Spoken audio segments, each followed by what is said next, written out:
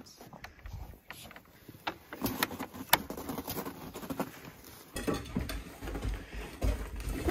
Would you guys like your own chicken coop of sorts to uh, play in? Treehouse? Treehouse? Yeah. That's what you want? Mm-hmm. Whoa. Nope. Basketball. And a fly. Hop on. There's a fly. Stick. Come on, Felix. One.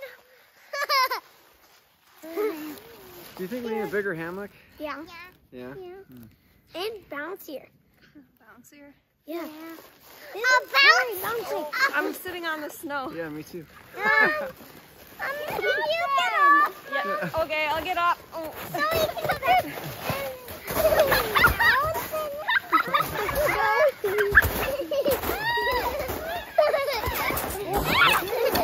So there you go. Kids just want a big net. I might not even have to build a treehouse now. That's where it is. That's the treehouse tree. That one and that one. yeah. Uh, so there's a net between them. I think we'll build a treehouse between those two. And I think we could put the net over this way.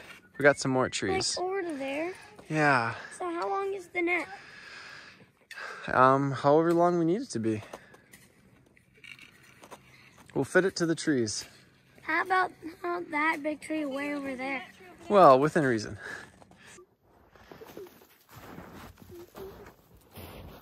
Can you reach around?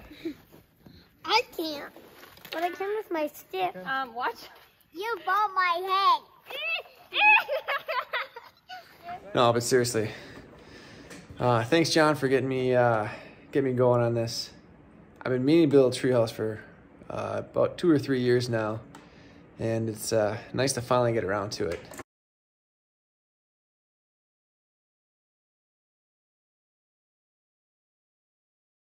What are, you, what are you most excited about with the uh, treehouse? Probably that it has a net. What about you, Charlotte? What are you most excited about for the treehouse?